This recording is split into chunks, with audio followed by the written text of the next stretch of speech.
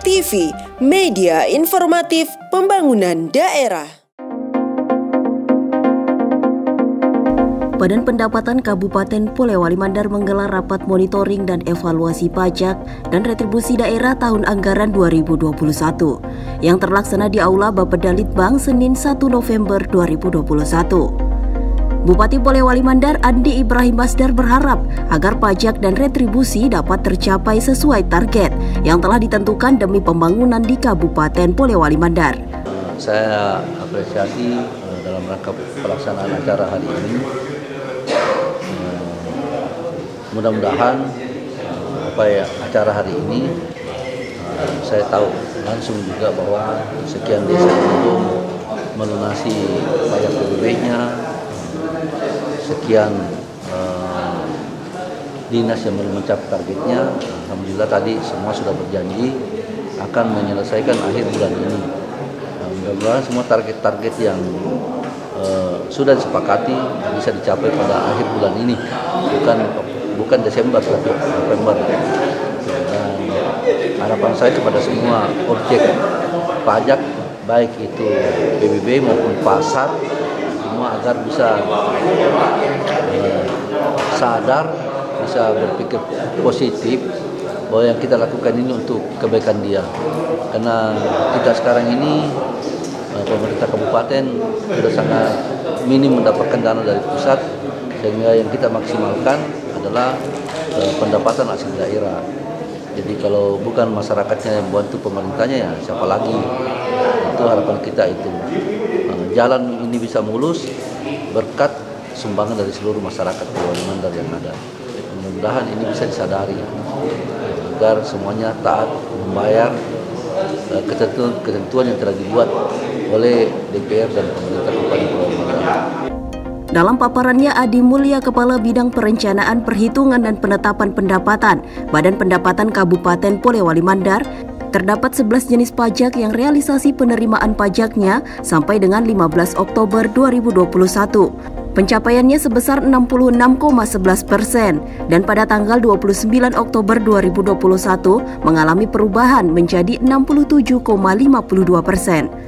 Dalam tren tiga tahun terakhir, ada upaya-upaya yang dilakukan dan kelihatan di pencapaian target kita di tahun 2019 kami coba mengkomparasi target kita 22 miliar sekian, kemudian di 2020 target kita 23 juta 700 dan alhamdulillah tahun ini kita targetnya 26 juta 400 sekian dengan realisasi yang insya Allah selalu melampaui target.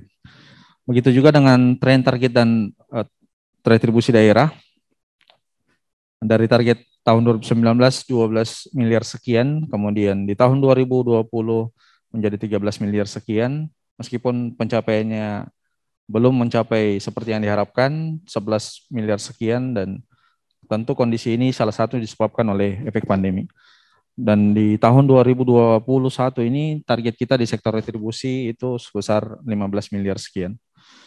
Bapak Bupati izinkan kami menggambarkan realisasi penerimaan pajak uh, yang penanggung jawabnya adalah kami semua di Badan Pendapatan dari 11 jenis pajak yang ada, uh, alhamdulillah kelihatan sampai dengan tanggal 15 Oktober 2021 pencapaian kita sudah 66,11 persen. Kelihatan memang masih uh, membutuhkan kerja-kerja ekstra di dalam dua bulan tersisa ini, tetapi kami optimis mudah-mudahan ini bisa tercapai. Nah, realisasi tertinggi di jenis pajak itu dicapai oleh pajak reklama dengan capaian 92,18 persen. Kemudian pajak restoran 83,61, pajak parkir 82,57, pajak penerangan jalan 8 miliar sekian dari target kita 11 dan karena data yang kita gunakan Bapak Bupati adalah data per tanggal 15 Oktober, sesungguhnya data real penerimaan kami di di sini sudah lebih dari 9 miliar, bahkan mendekati 10 miliar. Lebih lanjut Adi Mulya menjelaskan, untuk realisasi penerimaan retribusi di 19 OPD di Kabupaten Polewali Mandar, pengelola retribusi sampai pada tanggal 15 Oktober 2021, yakni sebesar 54,72 persen. Realisasi penerimaan retribusi untuk 19 OPD Yang pertama, berdasarkan persen realisasi, Dinas Kominfo menempati posisi pertama dari target 268 juta sekian sudah terrealisasi 267 sekian dengan persentase 99,73 persen. Selanjutnya di Sperindak dengan target 10 juta sudah terrealisasi 95,60 dan tahun depan atas diskusi dalam proses perencanaan pendapatan kita di 2022 Dinas Perindustrian dan Perdagangan ini kita akan secara bersama-sama melakukan penyesuaian tarif Bapak Bupati. Hadir dalam kegiatan ini asisten perekonomian dan pembangunan, para kepala perangkat daerah, serta para camat. Tim Warta Kominfo SP Polewali Madar.